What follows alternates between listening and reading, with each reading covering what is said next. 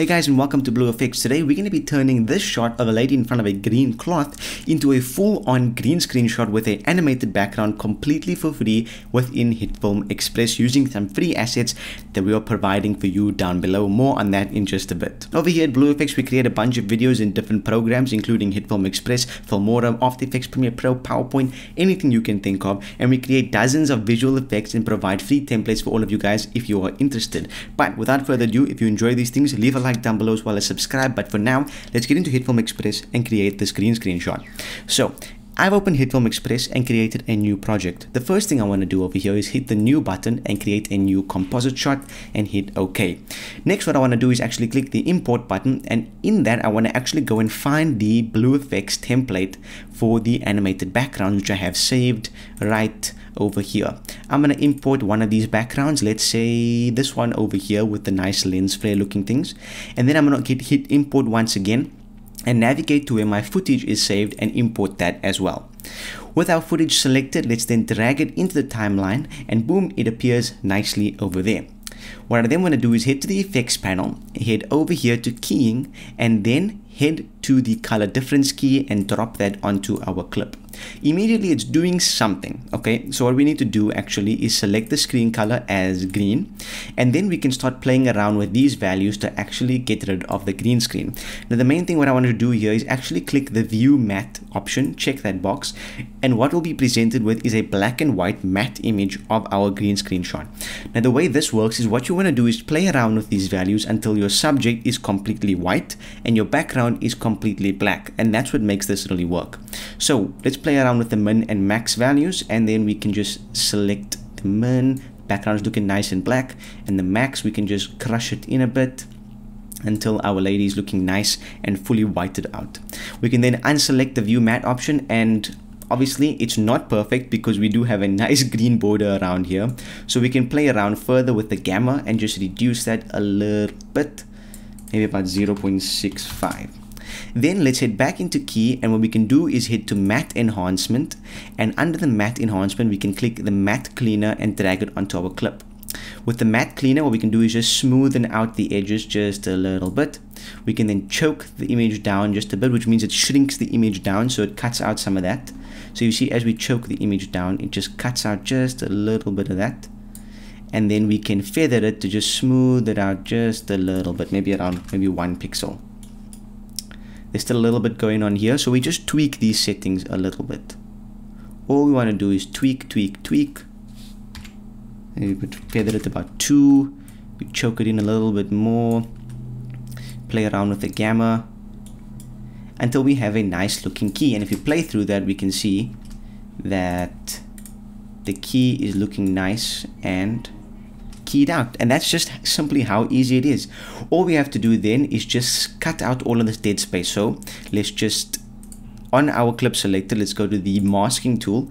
And then we'll just mask out around our actress. Close it off.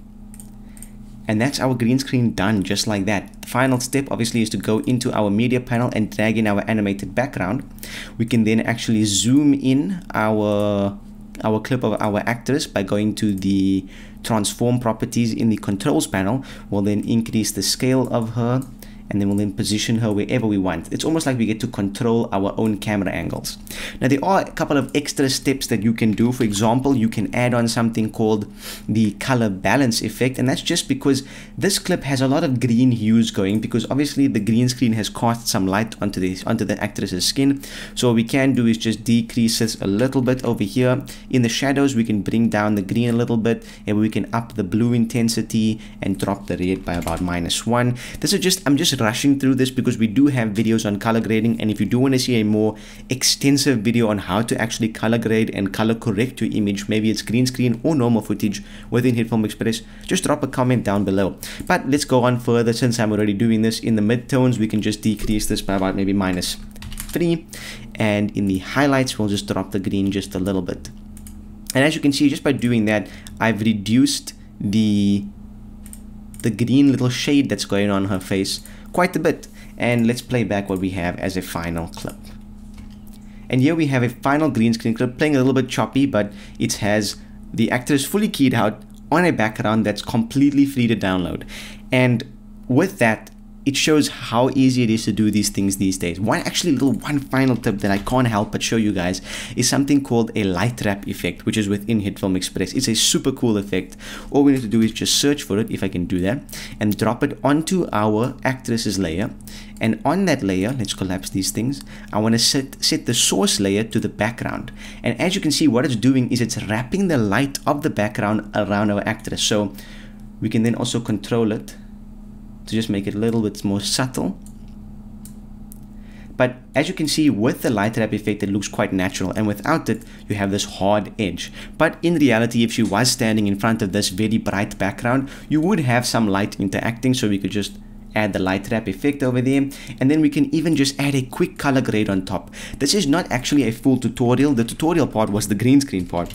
This part that I'm doing right now is just to show you guys how far you can actually take this shot in a free program using free assets from BlueFX so I'm going to drop a color grade over all of this add a curves effect and just adjust the color of everything together at the same time.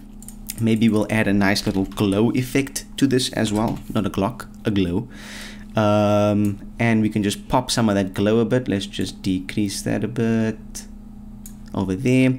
We can then bring down the up the threshold bring down the intensity and boom we have a stunning looking green screen shot that we've created in I don't know maybe six minutes five minutes if you were going really fast at my pace. Um, and it's super easy to do. So if you guys enjoy these types of videos definitely leave a like down below and comment if you want to see more broken down versions of these videos. Maybe you want to see more um, advanced green screen. Maybe you want to see more color grading in relation to green screen and how to match colors because we do have videos on that as well. Um, besides that I hope you guys have enjoyed this video. And if you have please let us know about it down below. Download those backgrounds which is in the first line of the description. And uh, yeah share it with your friends. Subscribe turn on notifications if you want to see more videos the minute that they drop. And until the next one we'll see you next time